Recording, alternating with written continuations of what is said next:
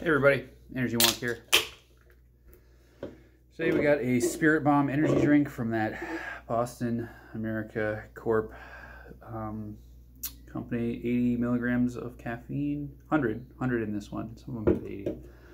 Um, these are all blue raspberry with different wrappers. Um, so I'm gonna say, yep, same shit. Um, I don't know if they alter it. All the Dragon Ball Z ones have been exactly the same.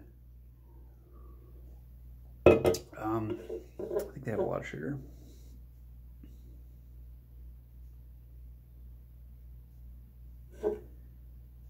Yeah, yeah, like 39 grams. Yeah, yeah, yeah. So it's like a soda. It's fucking ridiculous. Um, like four, I don't know.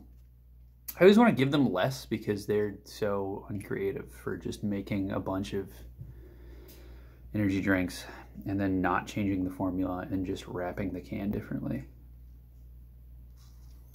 Um, yeah, three, four, four. Uh, spiritually, a two. Yeah.